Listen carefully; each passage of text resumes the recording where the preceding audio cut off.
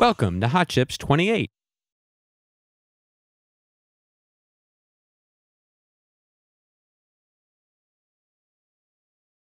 Keynote 2. Are we there yet? Silicon in self driving cars.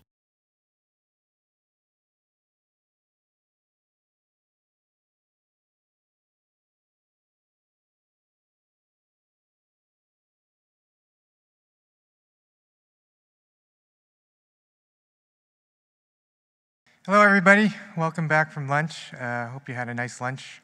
So nice to get outside in the sun here.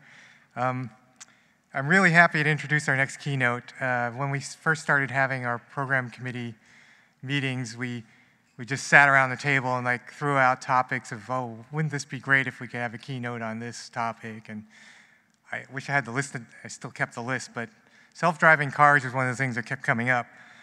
And so um, I was just looking through the archives before during the break, and I, and I went back to Hot Chips 1 and looked at, you know, kind of topics, and Hot Chips 1's like all microprocessors. And then I, I, I went, actually just kind of clicked on, um, I think it was Hot Chips, let's see, 2010, six years ago, we had a keynote from Volkswagen. And the keynote was about electronics and cars. And it's really interesting to go back and look. I encourage you to go look at the slides. He talks about, um, you know, driver assistance, you know, self-parking. Talks about, you know, infotainment options in your car, navigation. Um, in fact, one of the things talks about the future. It says, get in your car, type in the destination, drive, right, and then and get there, right? And here we are, six years later, and we're actually we're not doing the driving. Something else is going to do the driving. It's pretty amazing to think about. So anyway, I'm really happy to introduce uh, Daniel Rosenband. Uh, he's been working on Go at Google on a self-driving car for the past four years, initially on subsystem sensors, and he currently leads the compute team on the self-driving car. Um, Daniel's a big chips fan, having designed his first chip as an undergrad working on a supercomputing project at MIT.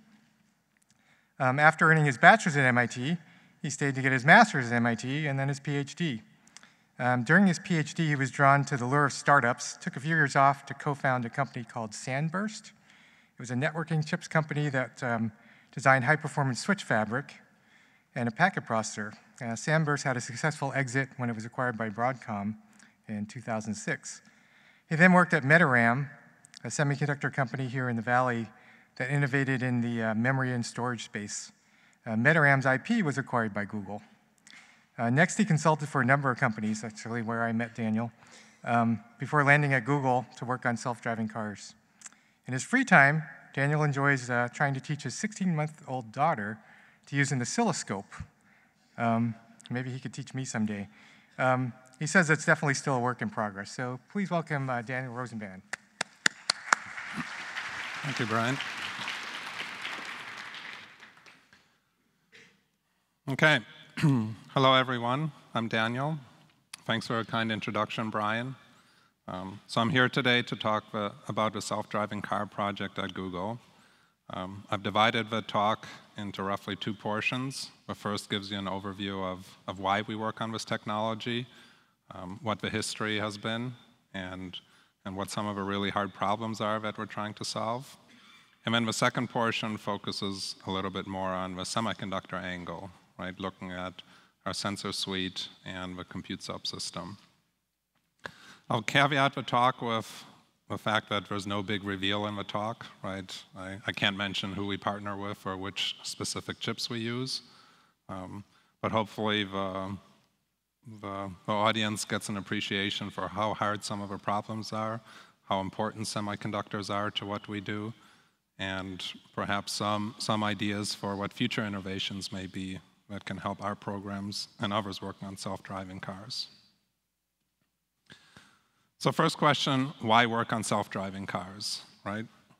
One of the things probably almost all of us encounter almost every day is driving down the highway and staring at that bumper ahead of us, right? That's, that's time where you can zone out a little bit, but you still need to be on top of things. And if you look at the statistics, right, the average person in the US commutes roughly an hour round trip every day.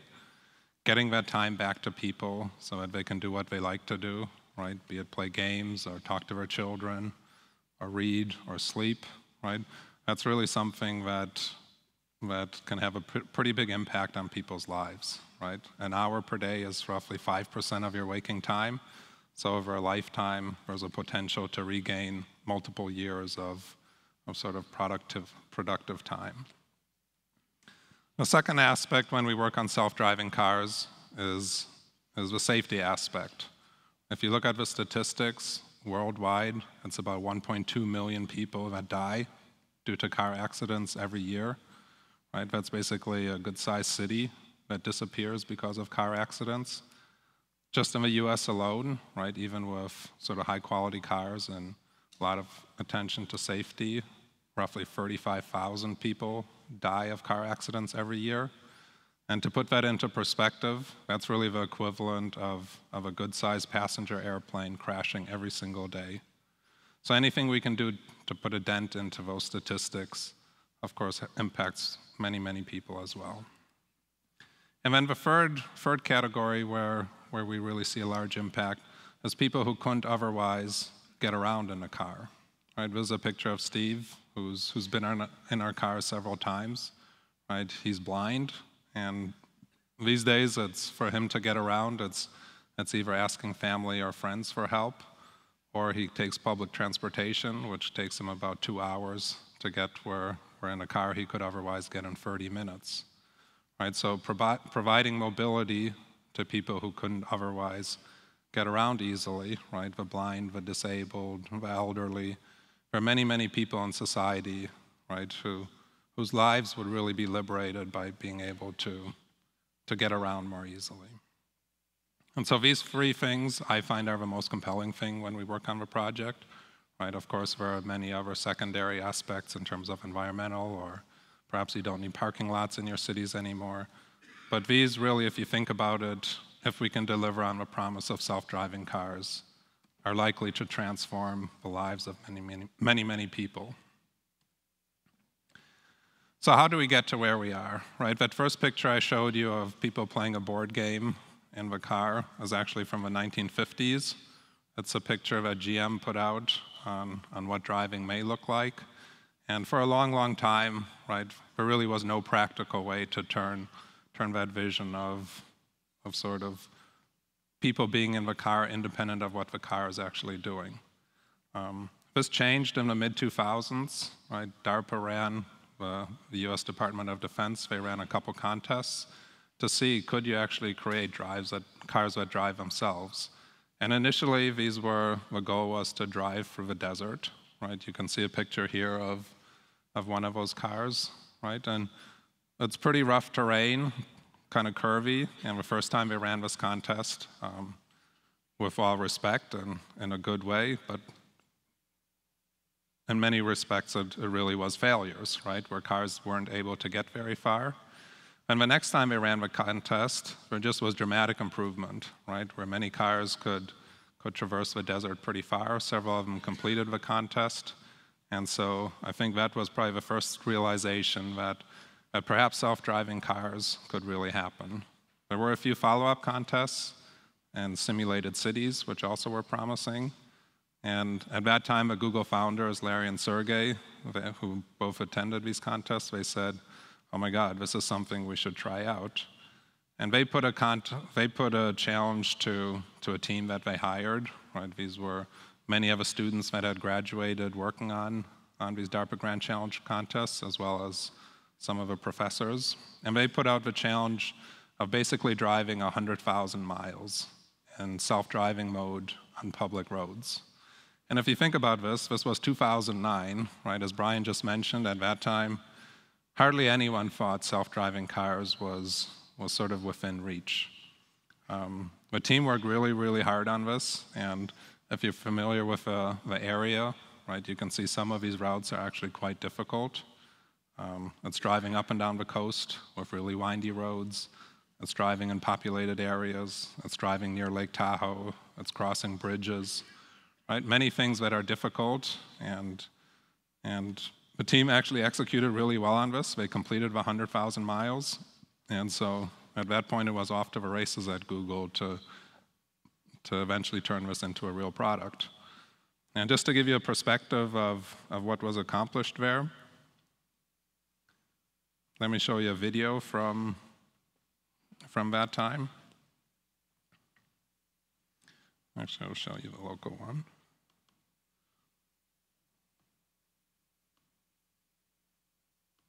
Right, so this is Lombard Street, which is a super windy road in San Francisco. It was part of a challenge that the founders put to the team. And you can see it's a really windy road. This is a time-lapse video. It actually took the car pretty long to navigate it. But if you think about this happening a number of years ago, it's, it's actually quite impressive.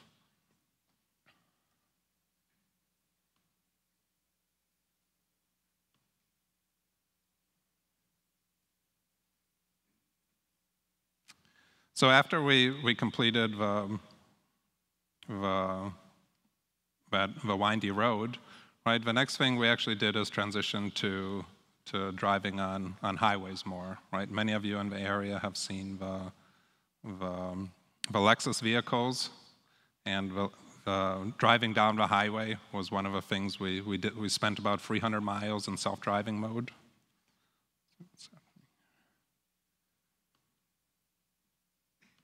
Sorry about this. So we, we took the, these Lexus vehicles, which if you've been in the area, you've seen driving on highways and now surface streets. But at this time, we, we really focused on highway, which in many ways is a simpler problem. You don't have traffic lights, you don't have pedestrians, you don't have bicyclists. Most of the cars are moving in the same direction, right? So in many regards, it's a simpler problem. Um, from there, we eventually transitioned to, to working on surface streets again. And the reason for this is primarily that one of the things we realize when driving on highways, that it's important to really solve a problem end to end. Right? This means that we wanted to deliver an experience where someone gets into a car, tells the car where to go, and then the person can totally zone out. The car takes, takes him or her wherever he needs to go and, and drops the person off right? And if you only focus on highways, that is not really an experience you can deliver. And if you look at just this intersection, it's obviously much more complicated than driving on highways, right? You see lane markers are complex, you have to see traffic lights, there are signs that indicate traffic rules, cars driving many different ways. So it becomes quite a more difficult problem. After that, if you've been in Mountain View, we also designed our own self-driving car. Um, the intent of this is to have a prototype that from the bottom up is designed to be fully autonomous, which means that it does not have to drive with a steering wheel, does not have a gas or brake pedal, right, but just needs one button that says go. The car takes the person to where they want to go, and then you get out. Right? We designed this in a, in a kind of neighborhood-friendly way. It's limited to 25 miles an hour. We, we drive very defensively, right, where if we see a big truck, we'll nudge around the truck. If we see a motorcycle, we'll nudge away from a motorcycle. Um, if we're at a, an intersection, the car will wait for a second and a half just to make sure that there's no pedestrian clearing. But overall, this was a pretty awesome thing to do to develop, to sort of think about what the experience would be and how you design something that, that could be totally self-driving. And most recently, you might have seen in the news, we, we have another vehicle that we're developing on. This is the Fiat Chrysler Pacifica minivan. And this obviously is a much bigger vehicle than the prototype one we worked on. But it also is, is a really cool vehicle in many perspectives from, from how people can, can interact within the vehicle. It has some nice features, for example, sliding doors. Right? It was one of the things we realized if, if you drop people off in a self-driving car, they, they kind of expect the car to do what it's going to do, and that may include closing its own door. And so having sliding doors is a pretty nice property. Okay, so that's, that's the history. Um, let's dive a little bit into how do we actually have the cars drive themselves. And there's, there's four, four primary areas that we focus on. The first is a car needs to know where it is. The second is the car needs to understand what, what's around the car. The third, what are those objects or, or people doing around the car, right? What is their behavior? And then finally, how should the car act? So in the first step of deciding where the car is, we actually put quite a bit of effort into developing more detailed maps than you would typically find, right? So we, we have maps that know where the curbs are. We have maps that at least know where some of the traffic signs are, where lane markers are, right? And so this gives the car a really good understanding of where it is and what some of the rules that apply may be. After that, right, now we, when we know where the car is, we also have an extensive sensor suite, which, which is scanning 360 degrees around the vehicle and is trying to recognize what each of our objects are, where objects are located, and perhaps which direction we're moving in. And in this picture, you can see the pink objects here. These are for cars. You can see there's a, there's a red object here. That's a bicycle. You can see we detect construction happening here with these orange blocks. And so this is something we constantly do, right? We, we, we generate a 3D model of what is happening around the car. The next step is really to predict what are all these things doing, right? When you're driving in the car, you don't only view it as a passive scene, but you, you observe how things are moving, and consciously or unconsciously, you also have a sense for, for how things are going to behave. And we do the same thing, and here's a nice example of that just for one of the vehicles, right? So this vehicle is going to come up to this construction site, and so we predict that it's going to swerve around it, into the lane next to it and then move forwards. Right? And these types of sort of ability to predict how things are going to happen is of course key to both safety and to having a smooth to having a smooth ride.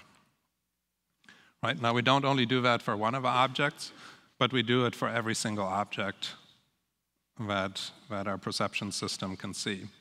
Right? And so what you end up with is for every one of the objects that we detect, we have a probability distribution of how that vehicle or person or, or bicyclist is going to move through the scene.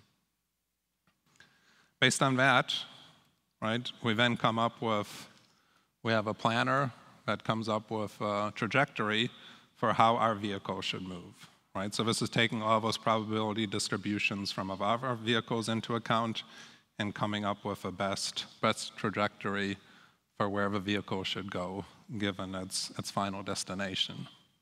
Right, now you notice in this picture, right, there are a couple of what look like horizontal ladders, right, so along with a trajectory.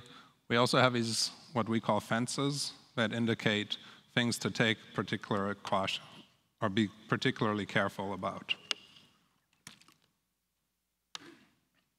And so if you look at it, this fence here, right, is fencing behind the car in front of us, right? So it clearly means that we don't want to run into that car. The fence is green, which means there's no danger of that happening, given the, that car's velocity and our own car's velocity. But it's sort of a cautionary thing to watch out for. And then you'll see there's this dashed fence, which is crossing the pedestrian walkway here. And that's an indicator that the car is being particularly careful about that area because it's more likely for pedestrians to, to cross in that, that zone. Right, so let me show you a video of, of what some of this looks like in action.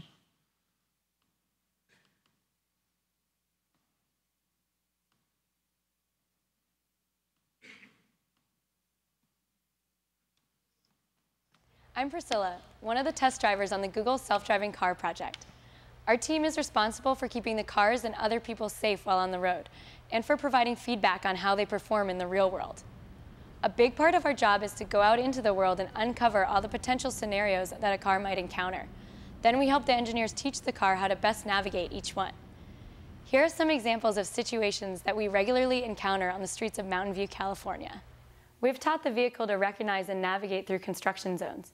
Our sensors spot the orange signs and cones early to alert the car of the lane blockage ahead, and we can change lanes safely. You'll also notice the vehicle typically moves to keep a safe distance away from large obstacles, like this truck stopped on the side of the road. Now we're approaching a railroad crossing, which requires special care. Notice the red fence and railroad sign that appears to the computer as we approach the intersection. This means that we'll wait until the tracks are clear of other vehicles before proceeding. Our cars treat cyclists as a special category of moving object. Watch in this example, when the cyclist holds up his arm, our software detects the hand signal and predicts his movement into our lane.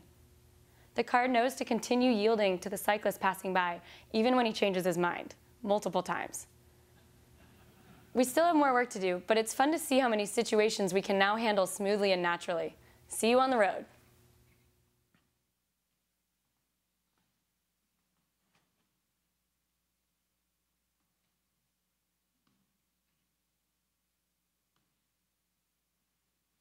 Okay, so hopefully that gives you a sense for some of the really complicated things we deal with, right? Recognizing which way bicycles are going to do, in some cases via hand signals, recognizing construction signs, many really complicated things. Now, given all that, one of the questions we often get is, well, so why is there no product that, uh, that sort of utilizes this technology yet?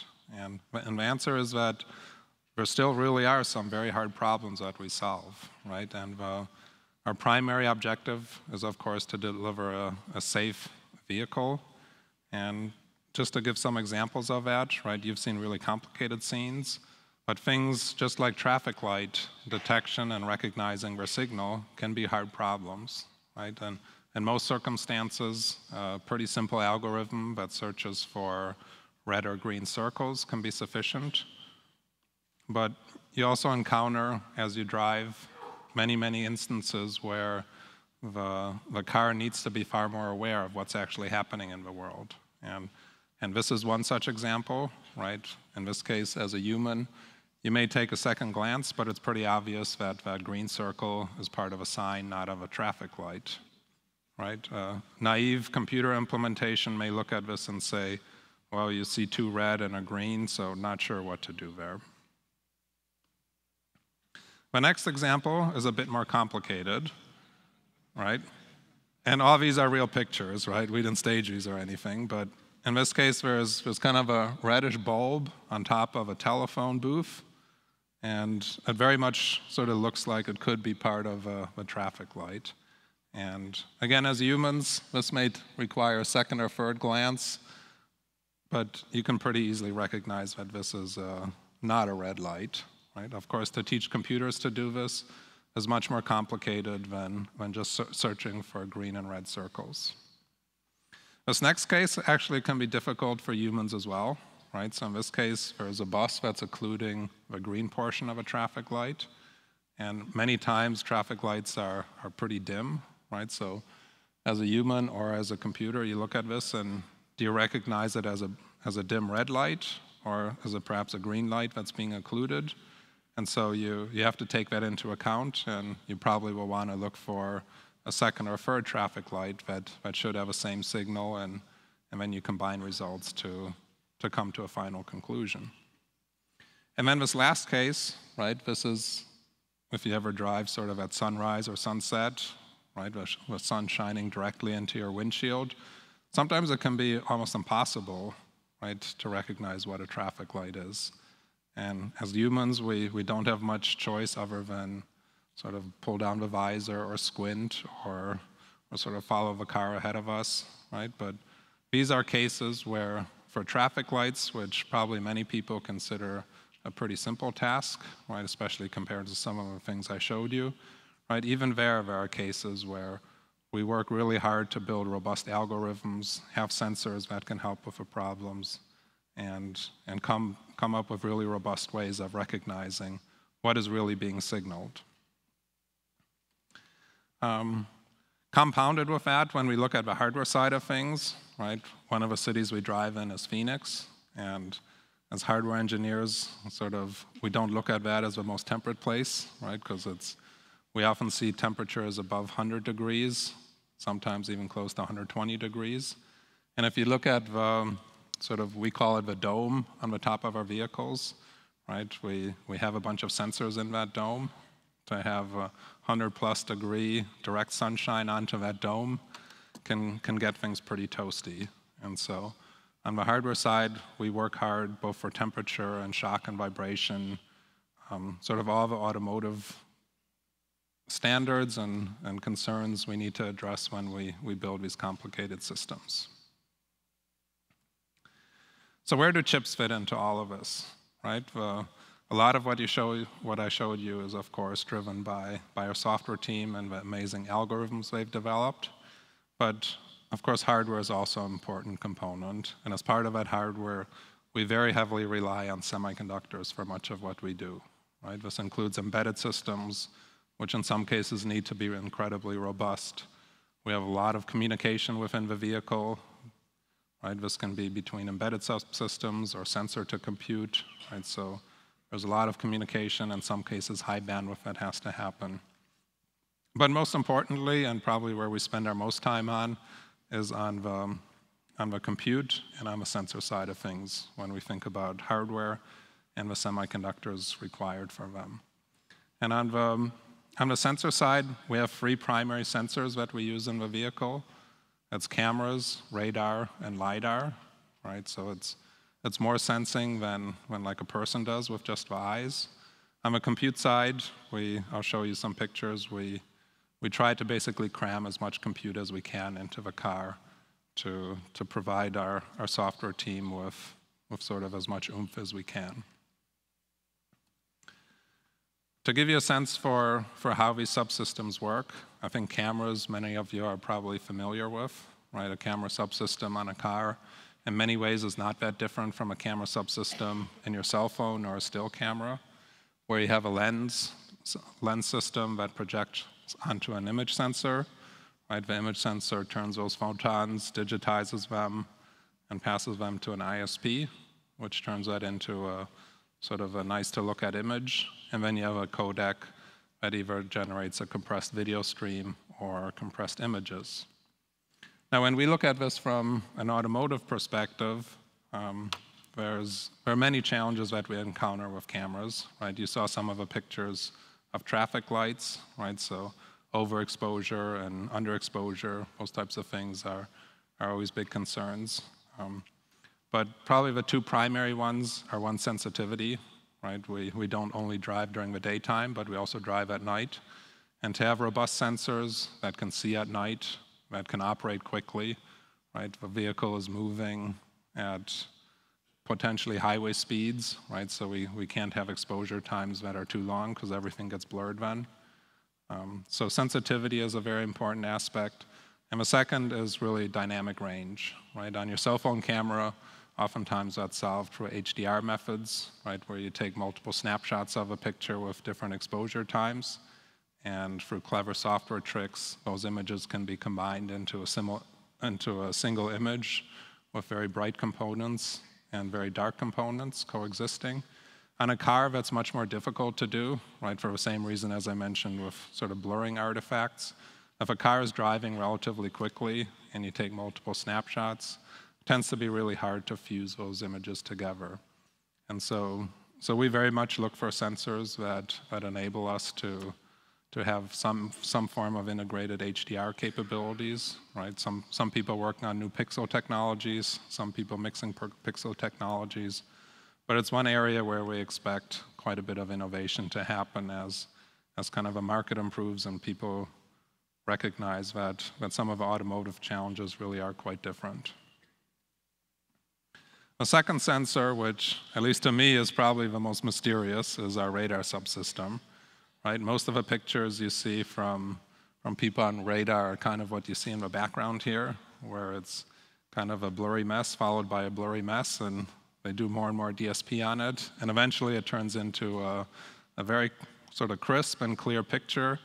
And what it provides is, is really range information and velocity, right? That turns into a really useful thing when you're driving, right? To be able to re reliably see how far away are some of the objects, how quickly are they moving.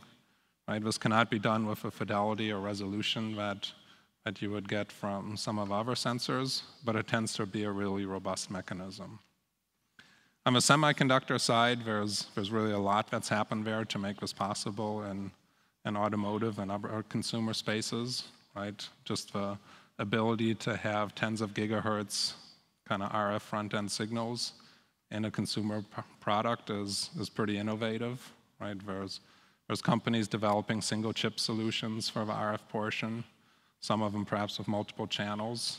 And really what this enables you to do, maybe I'll quickly walk through the, how the radar operates. You have a VCO that's putting out a tens of gigahertz signal. You modulate that, right, with either a chirp or a ramp or some waveform.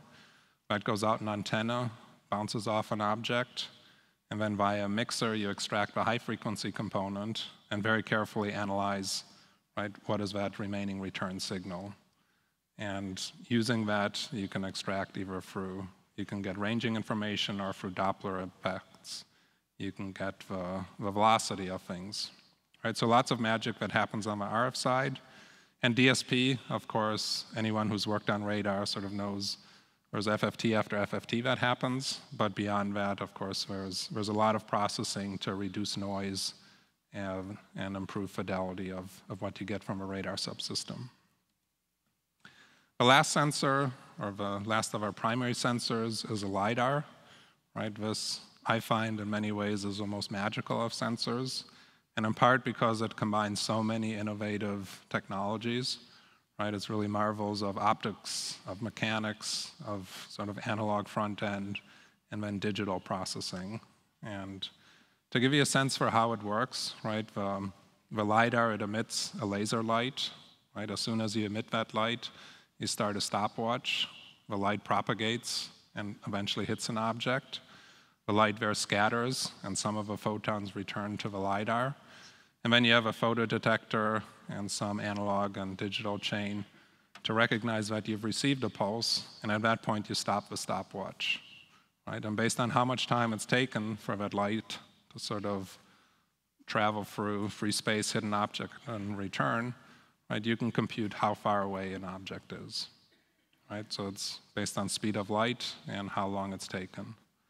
Now, the timing accuracy required to do that is pretty impressive, right? Basically, for every millimeter of precision that you give up, that's roughly equivalent to six picoseconds, right? So if you, if you want, say, one centimeter of accuracy, that's 60 picoseconds of precision you need on the timing control. On the chip side of this, there's quite a bit of cool stuff that happens, right? The, the photo detectors, there's a number of companies working on some pretty clever stuff there, right? And the, the magic always is how do you receive as few photons as possible and still get a, a signal with little noise out of it? And if you imagine you're driving down a highway and let's say 100 meters away there's a tire on a road, right? That's something you may want to observe with a LiDAR. And you can't send that many photons out to begin with, and you get very, very few of them back. So a lot of innovation happening on the photodetector side. The analog front end and DSP, there's actually quite a bit of diversity in approaches people take there. Some are very analog heavy, some are DSP heavy, right? But the, the key, of course, always is to, to recognize what is a pulse that you actually want to consider, and then what is a precise timing around it. And you can see in the background, this is actually a picture that's generated, we call them point clouds, of sort of a 3D information that's generated from these LiDARs. If you've seen some of our cars, you can see the LiDAR spinning on the top of a car. Right? So we're spinning, constantly shooting laser light, performing these measurements, and generating these types of 3D models of what's happening. Now, one of the questions, again, we get asked is, why do we really need all these sensors? Right? As people, we can drive just with our eyes. Right? We don't need LiDARs. We don't need to know to millimeter or centimeter precision how far away things are. We don't need radar to tell us how quickly things are moving. Yet, in our project, we've, we've invested very heavily into, into sort of getting the best sensors we can onto our car. And to give you an example of this,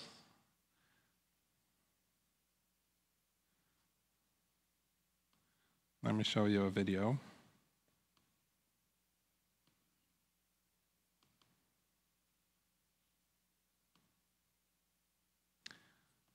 Right, so basically what we're showing here is this is an artificial scene we created, right, where we have roughly 100 cyclists driving around our car. And to do this with just sort of camera would obviously be pretty difficult, right? The segmentation problem is hard, right? Some people look at using, for example, stereo vision for that, but for us using LiDAR to segment a scene turns out much simpler tracking things. Of course, we, we use a combination of sensors for that, but this is a nice demonstration of kind of being able to do that robust. Having more sensor data is, is a big help to get there.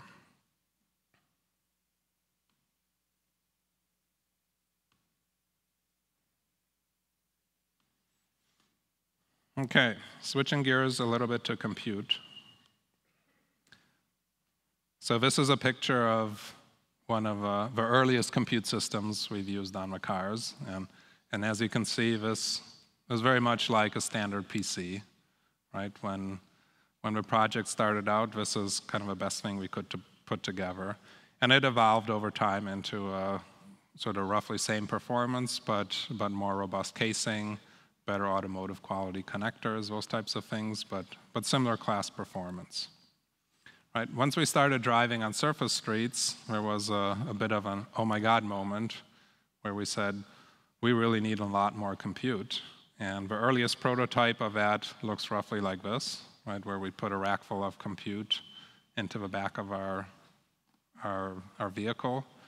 And it's, it's fun to put this together. It's not so fun to debug, right? You can see there's a lot of wiring and in a car that doesn't always work so awesomely.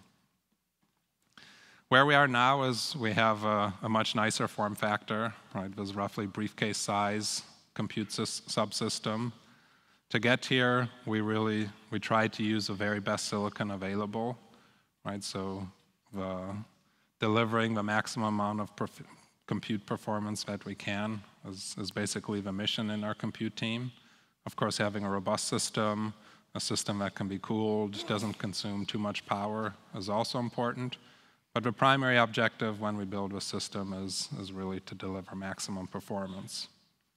And without giving the details of what's actually inside, um, we hear often of sort of rumblings of is Moore's law ending, but we've definitely been able to take advantage of kind of uh, the best silicon available to really get a pretty dramatic bump in terms of performance that we can deliver right? And some of this is, of course, due to using larger chips, but some of it is also due to innovation that's happening in, in how do you architect uh, chips to, to kind of get more performance than you otherwise could from completely general purpose processing.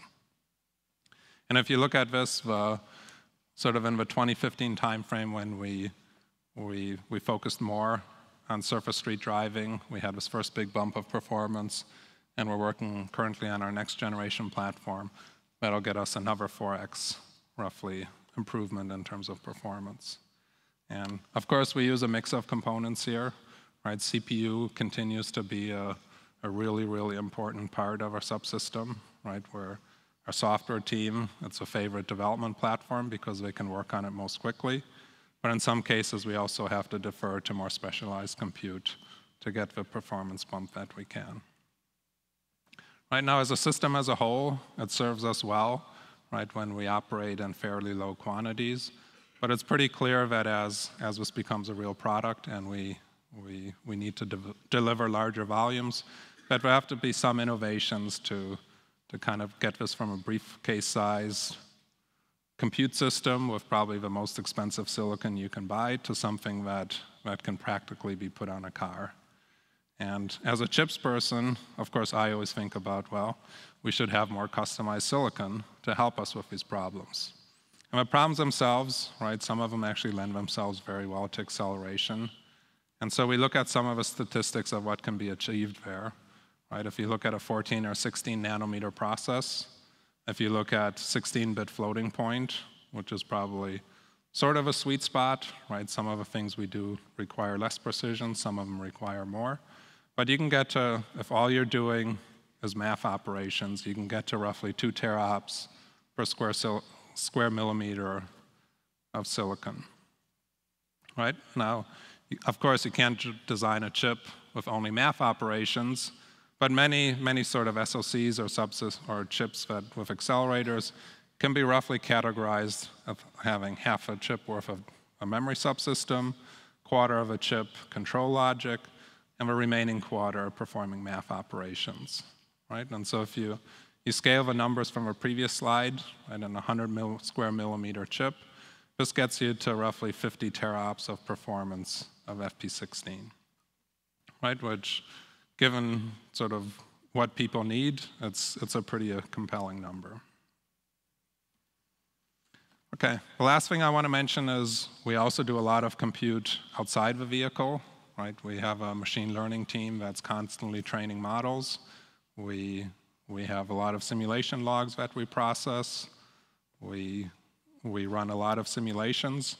And so a lot of the talks that also have been presented here of sort of silicon that can go into data centers indirectly very, very much benefits our program as well. So with that, thank you especially want to thank the audience, right? As a CHIPS person, I really appreciate all the work that's been done by the community to, to get us to the chips that we're able to use in our cars, right? If you, if you look at what chips were available 10 years ago, I don't think we could do what we're doing today. So really a thank, thank you to the community and many of the companies and people present here I'm sure have contributed. So thank you.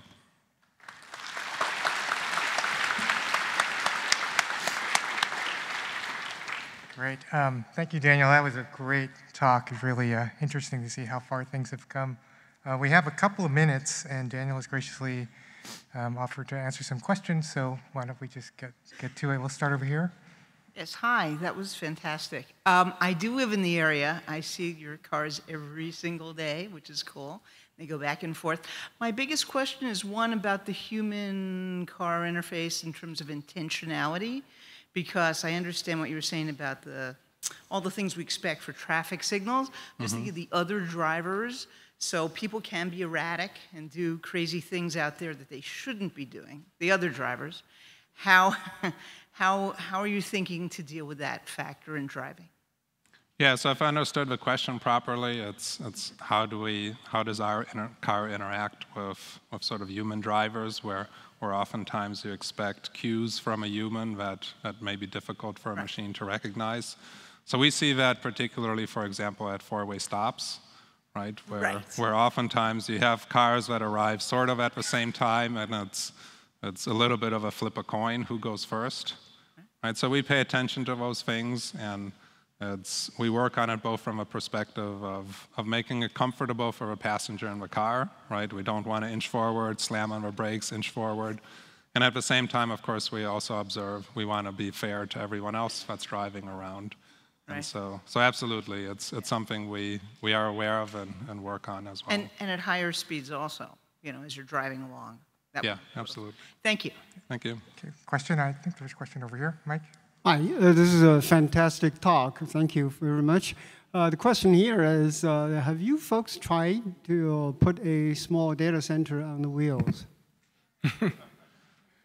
okay, so the question is, have we tried putting a data center on wheels? Um, I'll admit internally we actually joke a little bit tongue-in-cheek, but a little bit sort of in reality as well, as we compare our compute system to the top 500 list right? Which year we rank in terms of performance that we deliver relative to those systems. And so not too many years ago, right, what we have in our car would, would be a small data center. Um, and so, so yeah, it's a very valid point, and, and we look forward to some years out to perhaps not entirely what it, you have in a data center today, but, but more performance improvements to, to sort of have even more awesome compute there. Thank you. For The questions, please uh, name and affiliation. I forgot to remind everybody. Yeah, John Massey, TechVisor. So I have a question uh, related to radar and devices like um, uh, uh, implantable cardiac defibrillators, which come with wonderful warnings like don't go near Wi-Fi, don't uh, uh, you know, don't stand in front of microwave ovens.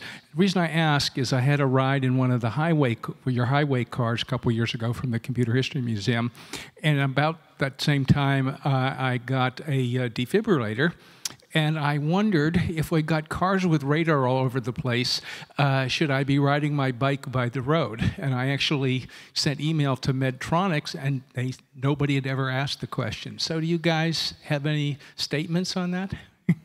like, is it safe for me to ride the bikes around Mountain View or not? yeah, it's a really good question, and I'll admit I don't know the answer.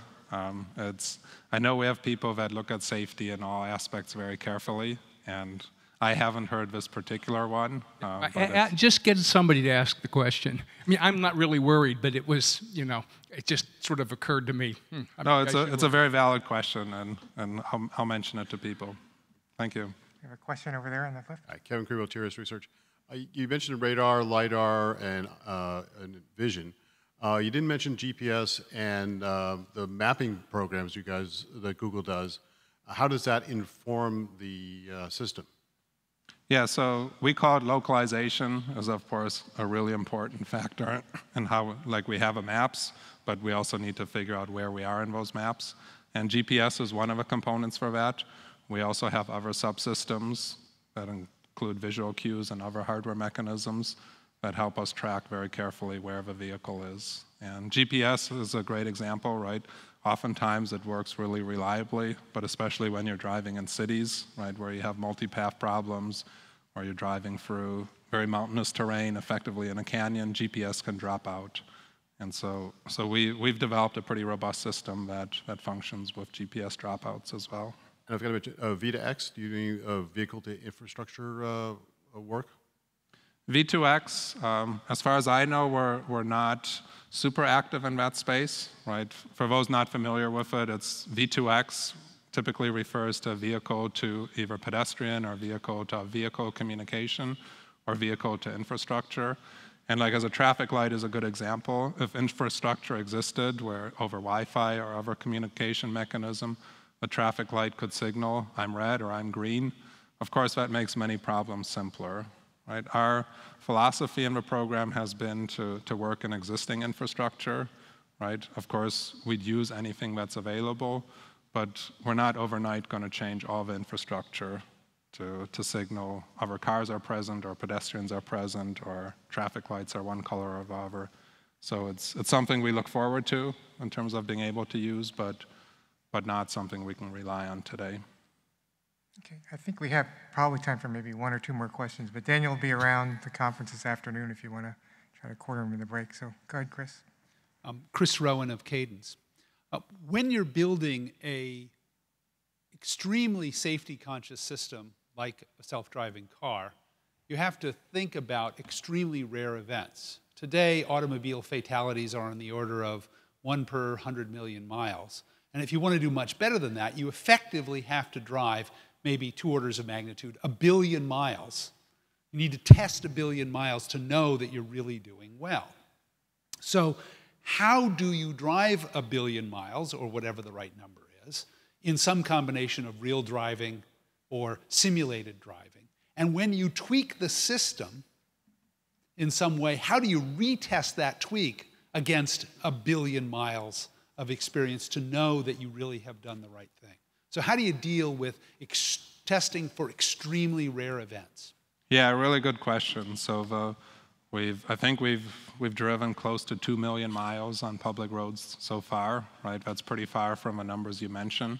And of course, we watch things very carefully. And today, we, we always have a safety driver present, right? So, when these exceptionally rare cases do occur, we have a safety driver who could take over. How we plan for that in the future, we do operate on test tracks, for example, as well, where we can create these unusual scenarios. And of course, you can't think of everyone, but you can systematically create scenarios that, that are likely to cover a broad spectrum of what may happen. And that, along with simulation, gives us good coverage. And of course, nothing replaces sort of putting rubber on the road and driving. And so we spend a lot of time doing that. Okay, I think we have time for one more. Um, is there a question here? Uh, Mike already asked one, so I'm going to give somebody. You can ask again after. Do you want to go ahead? Okay, Charlie Demerjian from Semi Accurate.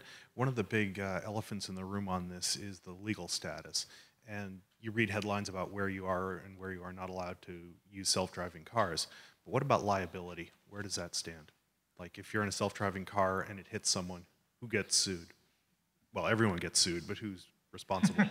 Um, yeah, fortunately, I'm an engineer, not a lawyer, so I'm going to pass on that question. Right? We, we have a policy team, we have a safety team, we have legal experts, and, and they think about those problems.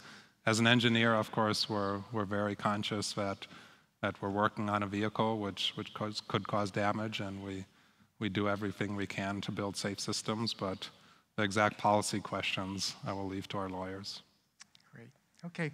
Um, unfortunately, that's all the time we have for questions, but as I mentioned, Daniel will be around the conference, so feel free to approach him. He's very approachable, really nice guy. Um, anyway, I want to thank him one more time, and uh, we'll get on with the program. Thank you.